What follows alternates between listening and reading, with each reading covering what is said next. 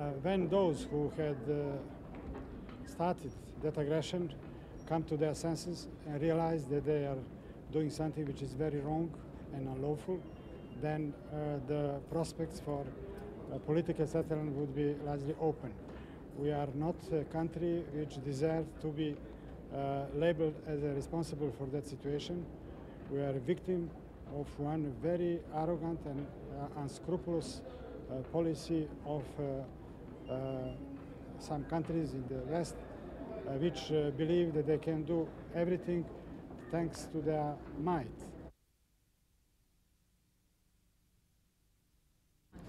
Uh, unfortunately, the casualties are uh, very great, both in terms of properties and human lives. Uh, there were uh, not only military targets, but many civilians which were hit. Four schools were hit, one ambulance, uh, two camps uh, of Serbian refugees from Croatia and Bosnia.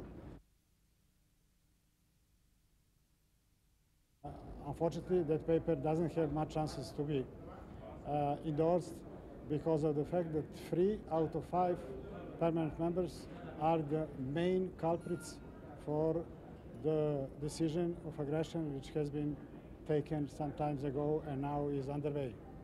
Thank you.